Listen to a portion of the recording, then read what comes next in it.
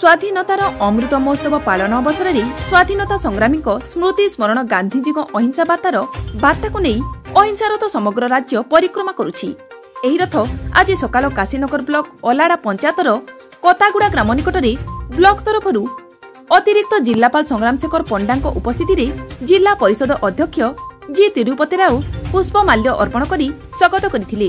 BDO doctor Lakshmiprasad Sahu block ଅଧ୍ୟକ୍ଷା ବାଲାସାହି ଅମ୍ମା ମଧ୍ୟ ପୁଷ୍ପମାଲ୍ୟ ଅର୍ପଣ କରିଥିଲେ।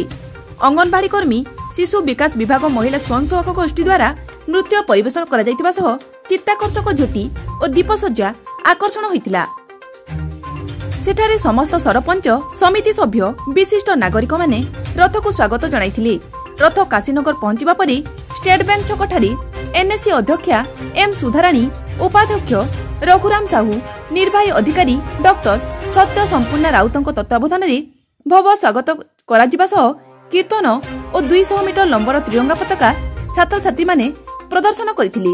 ସ୍ଥାନୀୟ ଶ୍ରୀରାମ ଡିଗ୍ରୀ କଲେଜର ଏନ୍ସିସି ରେଡ୍କ୍ରସ୍ ଓ ଏନ୍ଏସ୍ଏସ୍ ଛାତ୍ରଛାତ୍ରୀମାନେ ରଥକୁ ସାଲ୍ୟୁଟ୍ କରି ସ୍ୱାଗତ ଜଣାଇଥିଲେ। ବିଭିନ୍ନ ବିଦ୍ୟାଳୟର ଛାତ୍ରଛାତ୍ରୀମାନେ ବିଭିନ୍ନ ବେଶରେ ସଜ୍ଜା ହୋଇ ବିଭିନ୍ନ ସାଂସ୍କୃତିକ କାର୍ଯ୍ୟକ୍ରମ କରିଥିଲେ। ଅହିଂସା ରଥରେ ଭିଡିଓ ଶୋ ପରିବେଷଣ କରାଯାଇଥିଲା।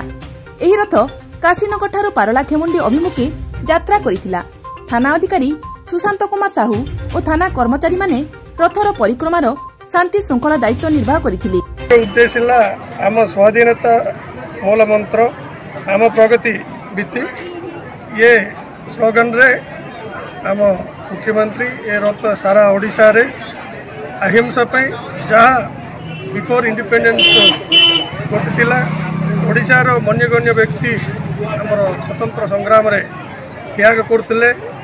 ତାଙ୍କର ଜୀବନ ବିଧାନ କେମିତି ବ୍ରିଟିଶ ମାନ ସାଙ୍ଗରେ ଫାଇଟ୍ କରୁଥିଲେ ସେ ଯାକ ଲଘୁଚିତ୍ର ଗାଁ ଗାଁରେ ଦେଖେଇକି ଲୋକମାନଙ୍କୁ ସଚେତନ କରିକି ବୁଲି ପାଇଁ ଆସିଥିଲେ। ମୁଁ ଭାବୁଛି ଏଇଟା ବହୁତ ସକ୍ସେସ୍ ହେଲା ଯାହା ଉଦ୍ଦେଶ୍ୟରେ କରୁଥିଲେ ସେ ଉଦ୍ଦେ- ଉଦ୍ଦେଶ୍ୟଟା ସଫଳ ହେଲା ବୋଲି ମୁଁ ଭାବୁଛି। ମାନେ ଏଥିନେଇ ଜନସାଧାରଣଙ୍କୁ କ'ଣ ଜଣାଇବେ? ଆପଣଙ୍କୁ ଦେଖୁଛନ୍ତି ନା ଜନସାଧାରଣ କ'ଣ ପାଇଁ ଏ ରଥ ଯାଉଛି ଆଜି ଜଣାପଡ଼ିଲେ ଆମର ଓଡ଼ିଶାର ମାନ୍ୟବର ନାୟକ ଦେଖେଇଲେ ଲକ୍ଷ୍ମଣ ନାୟକ ଯେମିତି ଆମର ସ୍ୱତନ୍ତ୍ର ସଂଗ୍ରାମର ଭାଗ ଦେଇଥିଲେ। ତାର ଜୀବନ ବିଧାନଟା ଏବେ ଦେଖେଇଲେ। ଅନ୍ୟ ସମସ୍ତଙ୍କର ଓଡ଼ିଶାର ଯେତିକି ଲୋକ ଫାଇଟ୍ କରୁଛନ୍ତି ଫ୍ରିଡ଼ମ୍ ଫାଇଟର୍ସ ତାଙ୍କର ଯେମିତି ଫାଇଟ୍ କରୁଥିଲେ ସେ ତାଙ୍କର ଲାଇଫ୍ଟା ଦେଖାଉଛନ୍ତି। সেটা লোক জানিবে